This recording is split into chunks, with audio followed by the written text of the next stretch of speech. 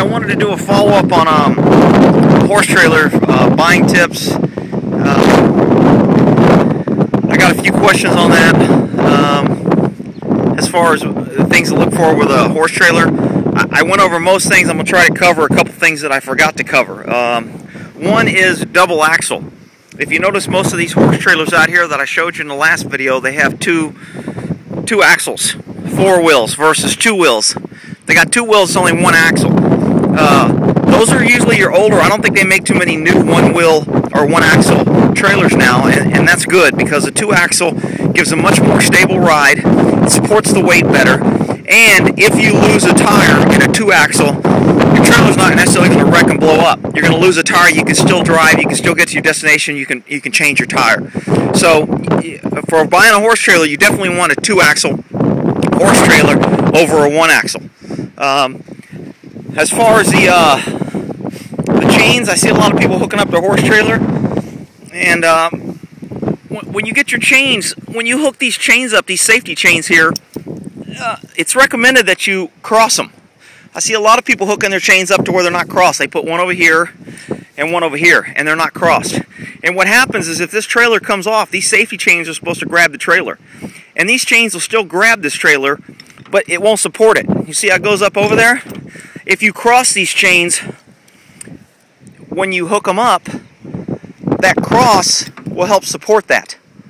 And, and I can't really do it with one hand holding this camera, but but you should always cross your chains and make that cross when you hook your chains up, and that'll help support this. If it falls, those that, that chains will cradle that. So that's just hooking up a trailer. Uh, another thing that's big with a trailer is you think they're big and white and people will see them, but they don't. For some reason, trailers are hit a lot. And if you notice, I have reflector tape that I went to a trailer store. You can order online. You can get this tape. It's about a dollar a foot or so. It may take you 20, 40 bucks to get enough to put around there. But I really have my trailer reflected on the sides. So when I make turns, cars can see me coming because I tend to make wider turns and I'm driving slower when I got horses. I've got a whole bunch of uh, reflector across the back there and across the sides. And again, I want people to see my horse trailer. Uh, my horses are in there. So I have a lot of reflective uh, tape on there. Uh, I also have those three little lights on top. The running lights are out here. Um, somebody asked me about mats. I didn't cover that last time. You can have mats on a wall. You notice there's no mats there and there's no mats there. I would prefer to have mats all the way around because mats tend to make your trailer quieter. And when a horse bumps into it, you can tell over there where their hooves are kind of scratching the paint. You can tell back here where their kind of hooves are scratching this paint and getting in this corner here. But over here where there's rubber, you can tell the rubber's tore up a little bit, but not necessarily, you know, it's not denting and scratching up the trailer. And I'm not really worried about the trailer, I'm more worried about my horse's hoof. I'd rather him scrape a hoof on plastic than on metal and paint. So I would prefer to have plastic all around. Again, I think it makes it quieter in here. As far as uh, mats on the floor, they're an absolute must. Uh, if you notice, uh, some horse trailers will not have mats, and you just have the wood. Well, again, I tell people all the time, ride the back of your trailer. If you want to know what your horse is hearing and how scary it is and how stinking loud and how that wind whips through there, get in the back of your trailer and have somebody drive you down the highway at 50 miles an hour. That trailer is a scary place to be for a human, much less a poor horse that doesn't know what's going on.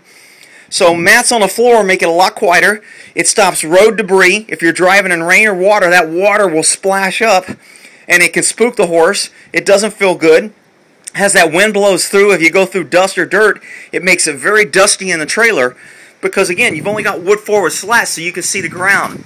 So having mats reduces noise, it reduces gravel and dirt from bouncing up, it, and, and it, it reduces water from splashing up. So mats on the floor, absolute must in a trailer. Uh, and then, of course, you know, so, some of them just have a metal divider that, that's, that's flat. This is an expandable divider, so I can close this and I can I can actually do this trailer and leave it open and leave the horse in here. Some of your dividers, see, I have to I have to expand this out to make this meet where it locks up. But if this wasn't expandable, some of your trailers, this piece sticks out. So you have to have this. You can only open it to let a horse out, but you can't close the door when it's open, or you bang it. and it always kind of sticks out and kind of gets in the way to where if it's expandable I can shut that down I can lock it up I can close it I can expand it out so uh, uh, I've heard this called a, a tele oh crap I can't even think of the word um, anyway I'm sure some of email me and call me an idiot so anyway you want you want one that, that, that will go in and out and uh, slide out when you're when you're trailing your horses so you can close the door. This is this is an add-on. You can have an extra. Uh, some of them will come with a solid piece, and then you'll have to get a expandable. Uh, but an expandable one, again, again, costs more. It's all about money. Uh, these rubber mats cost more. If I had rubber mats all around, it costs more. Rubber mats on the floor cost more. But again, uh, I put my horse in here, and they're, you know, pretty much uh, uh, to me, they're they're a priceless cargo, and, and, I don't want them getting hurt, and I want it as safe as I can. Uh, some some of your uh, your dividers will have cushioning on it. These have cushioning. Um, I, I, like the cushioning because when my horse leans against it, I'd rather have something soft to lean against than leaning against hard metal. Because if they slip and fall, or if I stop, or some nut pulls in front of me and have to stop, they bounce into solid hard stuff, and I'd rather be bouncing into something a little bit softer which is another reason to have some mats around here. Um, so those are a few tips. And again, what I usually do when I get a trailer is I go around, I put the, put this rubber seal in that makes it quieter. It stops the wind from this door. Um, I put I, I, went and got some little rubber seal and put it on here to make it a little bit quieter. I try to get all pieces where metal connect. If you notice this bolt here, uh, this bolt is a metal bolt. Well, when this is telegraphed out, it's loud. And so as I'm driving, it's doing this. And it's banging and it's making noise. Well, I got a rubber, a piece of rubber. Hi, buddy. yeah, what are you doing, Hollywood? You're a good boy. so what I did is I got a piece of rubber and I put it over here, which makes it a lot quieter. If you notice here, it's not making noise now, versus that. Loud, quiet. So all I did is get a rubber sheath and I, sli I slid it around this metal thing. So when I slide this in here and it locks my um, my trailer up is quiet.